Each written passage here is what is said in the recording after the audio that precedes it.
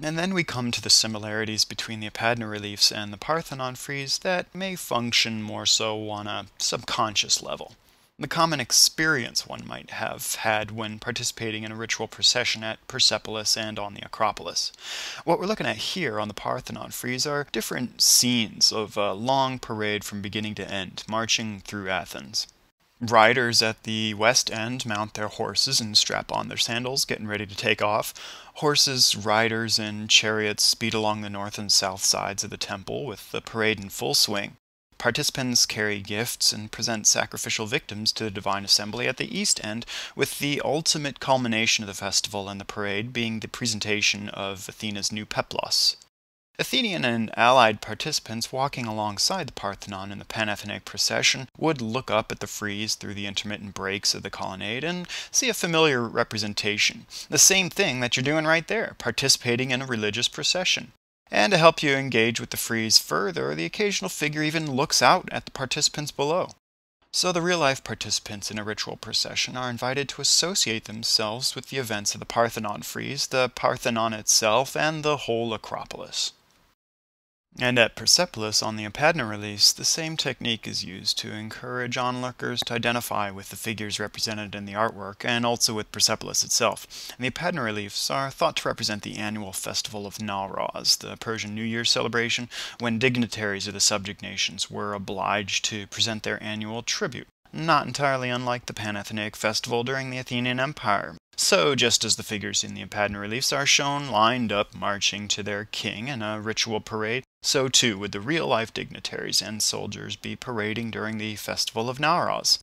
And those aren't just any figures in the Apadana reliefs. Their different styles of dress and the items they carry help us to identify them as emissaries of the various nations subject to the Persian Empire those very same tribute bearing dignitaries and those very same Persian and Median soldiers who themselves once long ago walked along these quote unquote portraits in relief as they brought tribute to the king. The Apadana reliefs even helped to channel the tribute bearers in procession as they climbed the staircase to the Apadana terrace, proceeding inward towards the king. And when seen in its entirety, all the hundreds of figures on the Apadana reliefs directly face the figure of the king, where he's already receiving a median marshal and spear bearers. As seen here in this reconstruction drawing of the northern terrace of the Apadana from Margaret Cool-Root's 1985 article in the American Journal of Archaeology, The Parthenon Frieze and the Apadana Reliefs at Persepolis, Reassessing a Programmatic Relationship. So we've seen how the Acropolis of the New Athenian Imperial Age and the Audience Hall at Persepolis share a functional similarity as imperial treasuries and centers for tribute from subject nations. They were also both festival grounds for annual parades when the tribute was received, and they both served to unite a diverse group of cultures under a single figurehead. In one case, the divine maiden and protector of democracy, Athena, and in the other, the Persian king, a living god. We also explored a similarity in the experience of these sites by their respective festival participants, in that the Apadana reliefs and the Parthenon frieze both demonstrate the same effect of connecting with the viewer, having him or her identify with the religious and imperial function of the site. We don't see a lot of formal or stylistic similarities between the two sites, and that makes a lot of sense when you think that Athens wouldn't directly and literally want to mimic the Persian government. Instead, by metaphorically associating themselves with their most immediate imperial forebearers, the Athenians justify their ascent to the role of emperor over the eastern Mediterranean. By employing similar themes of tribute and the patriotic festival parade, Athens further manages to justify its claim in the eyes of the Ionian Greeks, who had long been familiar with these themes under Persian rule. And to bring it all home, Athens does all of this in the distinctly Ionian sacred artistic tradition of the Ionic frieze.